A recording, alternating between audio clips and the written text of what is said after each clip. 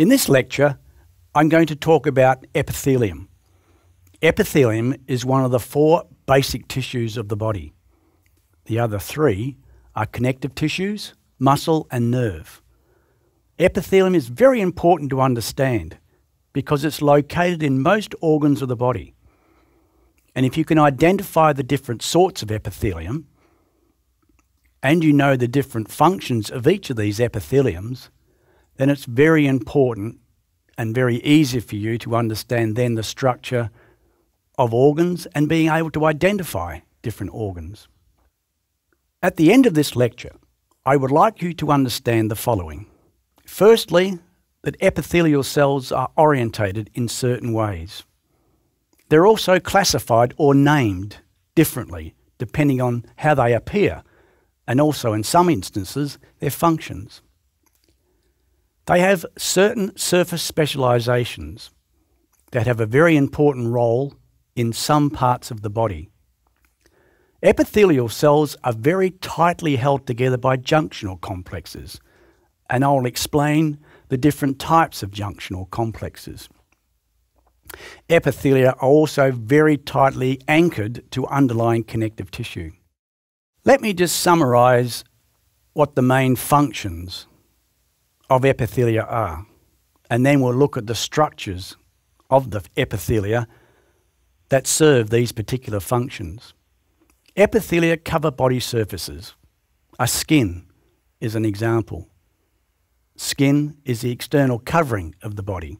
It's a very specialised epithelium, and I'll talk about skin specially in another lecture.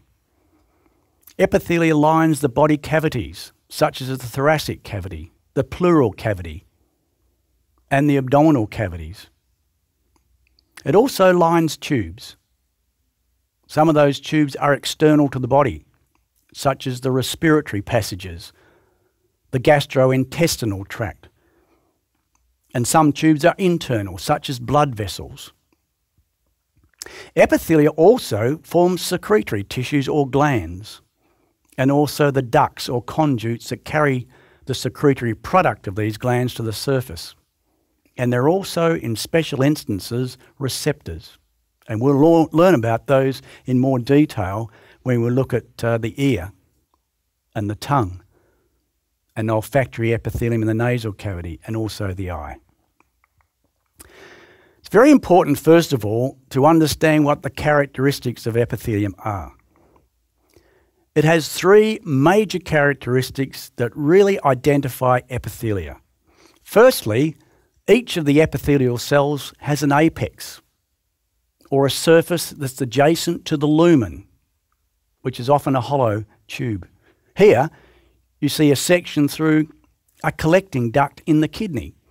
You don't need to understand the details of the kidney at this stage, but just have a look at this image, have a look at the section through this tube, identify the lumen, and identify the epithelial cells. They stain light pink.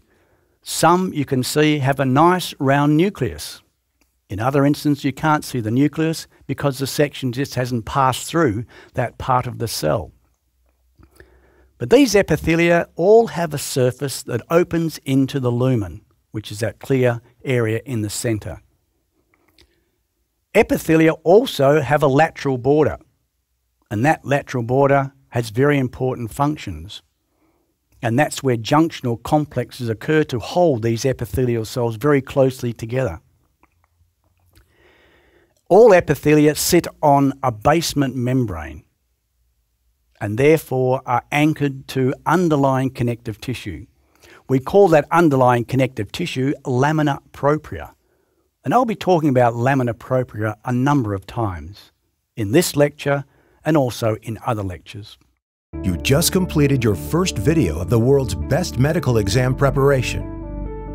Lecturio brings the knowledge of worldwide leading medical experts and teaching award winners to your PC, tablet, or smartphone. Prepare yourself and check your progress with thousands of quiz questions customized to USMLE standards. And the very best, you can get in touch with our medical experts personally. Visit lecturio.com now and continue with the most inspiring medical education around the globe. anytime, anywhere.